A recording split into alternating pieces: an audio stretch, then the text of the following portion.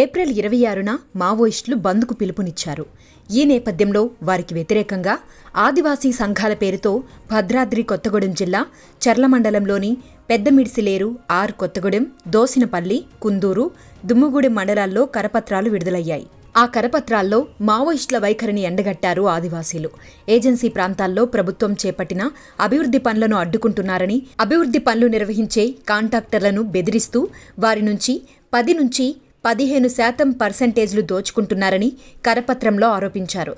వారి డిమాండ్లను నిరాకరించిన కాంట్రాక్టర్లు సూపర్వైజర్లను చంపేస్తున్నారని వేసిన రోడ్లన్నీ మందుపాతర పెట్టి పేల్చేస్తున్నారని పేర్కొన్నారు. మావోయిస్టులు అభివృద్ధి నిరోధకుల్ని బలవంతంగా ఆదివాసీ యువతులను ఉద్యమంలోకి లాగి వారి జీవితాలను దుర్భరం చేస్తున్నారని కరపత్రాల్లో పేర్కొన్నారు.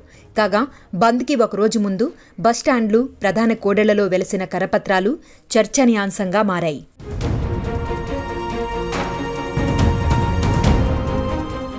వార్తల వెనక వాస్తవాలు. ఫ్లాష్ పాయింట్ సాయంత్రం ఐదు గంటలకు. నంబర్ వన్ మాత్రమే కాదు అంతకు మించి.